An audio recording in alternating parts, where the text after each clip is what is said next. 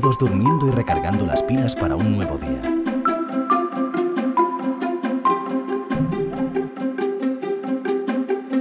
Shh, parece que ahí viene alguien. Empieza la marcha. Buenos días familia.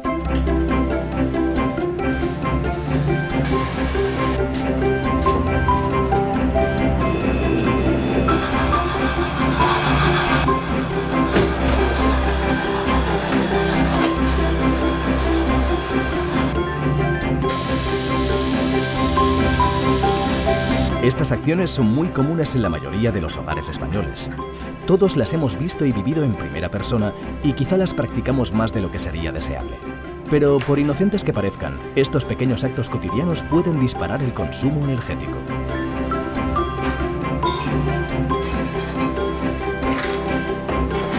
Esto.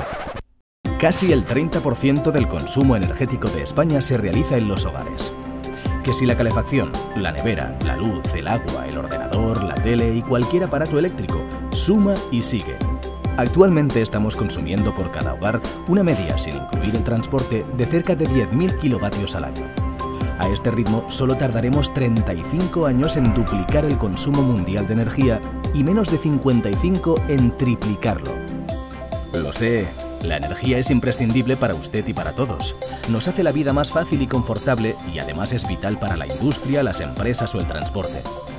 Pero lo que quizá no sepa es el coste económico y ambiental que estamos pagando por esta cosa que utilizamos para todo y parece salir de la nada. Casi toda la energía que usamos proviene de los combustibles fósiles o las energías renovables, entre las que destacan la eólica, la hidráulica o la solar. Los procesos para transformar y distribuir esta energía son carísimos y afectan al medio ambiente, agotando sus recursos naturales. Por eso es importantísimo ahorrar energía y utilizarla de forma eficiente e inteligente. Estos son solo algunos pequeños detalles para conseguir más con menos.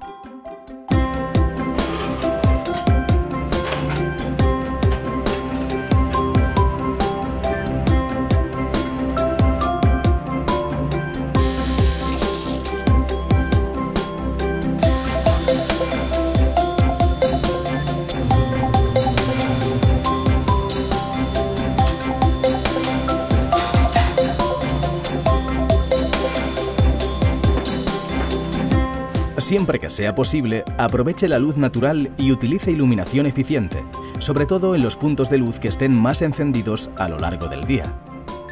No abuse de la calefacción o del aire acondicionado. Si utilizamos 21 grados en invierno y 25 en verano, lograremos un mayor ahorro energético.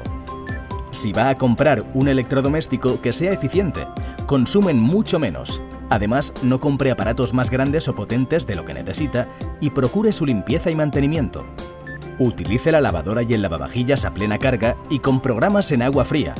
Priorice el centrifugado a la secadora o el microondas al horno y reducirá enormemente el consumo de agua y electricidad. Desconecte totalmente de la red aquellos equipos, incluidos la televisión y el ordenador, que no esté utilizando. Nos toca desconectar a nosotros un poquito.